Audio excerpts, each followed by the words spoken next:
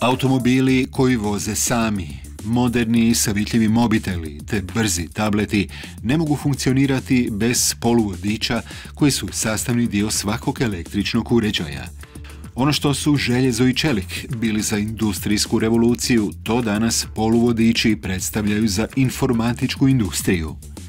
Najnoviji trendovi u razvoju poluvodiča odnose se na povećanje energetske učinkovitosti te postizanje što jednostavnijeg proizvodnog procesa kako bi cijena bila niža.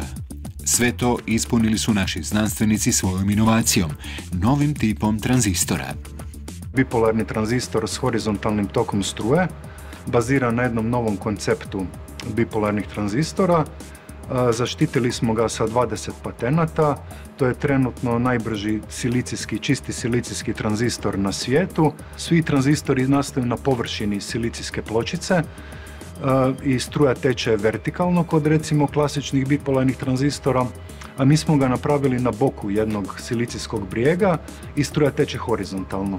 Bipolarni tranzistor s horizontalnim tokom struje omogućit će veći i brži protok informacija, pa će primjerice vaši mobiteli u budućnosti moći procesuirati mnogo više podataka uz manje utrošene energije. Ideja bi bila da se može onda jeftinije proizvesti taj dio za slanje signala koji je najzahtjevniji recimo u mobitelima i po jednom tranzistoru je možda i najskuplji. E, na ovaj način bi se mogli jeftinije e, proizvesti i mogli bi biti efikasniji, znači potencijalno bi baterija duže trajala, trošili bi manje energije. Taj koncept bipolarnog tranzistora omogućuje izradu jeftinijih i bržih sklopova koji se mogu dizajnirati prije same proizvodnje kod korištenja takvih tehnologija je da vi e, sklop u biti projektirate prije nego što se proizvodi i onda sve komponente koje koristite u sklopu se e, proizvode istovremeno. Ovoga, dok u nekakvoj, nekakvom pristupu kad projektirate sklopove na printanim pločama, vi prvo kupite sve komponente i onda ih slažete u nekakav elektronički sustav. I sad razlika je fundamentalna u tome da vi praktički korištenjem tehnologije odmah izdizajnirate komponente koje vama baš trebaju za vašu određenu aplikaciju.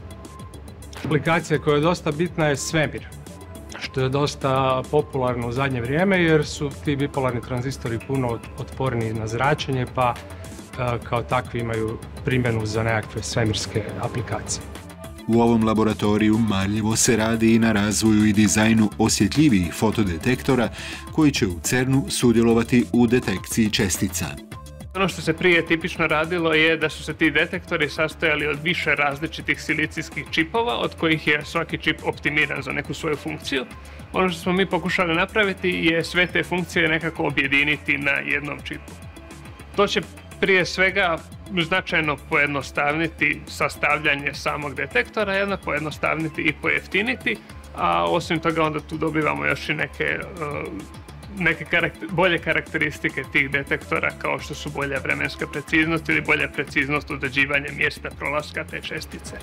Također usavršava se detekcija svjetlosti i u infracrvenom spektru. U sklopu ovog labosa, ovaj labos je zapravo surađivao sa nekim drugim laboratorijima po Europi i razvijena je e, takozvana ta PUB silizijska dioda koja neki način koristi dva materijala, dakle mi se ovdje malo bavimo i kemijom, e, koristi bor i silici kako bi se dobio jedan dizajn e, fotodetektora za ultraljubičasto zračenje koji ima izuzetno veliku osjetljivost.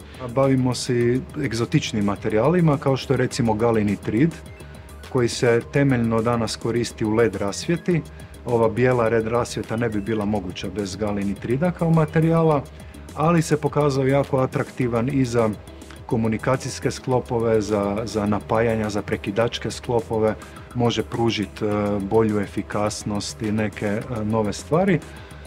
Ali je novi materijal i još je masa nepoznatih fizikalnih komponenata onda se tu bavimo teoretskim modeliranjem e, tih elemenata i primjenom tranzistora za neke specifičnije primjene za recimo radare, za ovaj, napajanja i takve sklopove.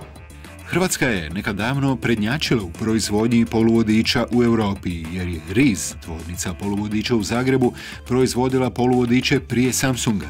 Danas, nažalost, nemamo tu zlata vrijednu proizvodnju, no potencijal koji pružaju naši znanstvenici svojim projektima i inovativnim patentima zacijelo donosi optimizam za bolje sutra.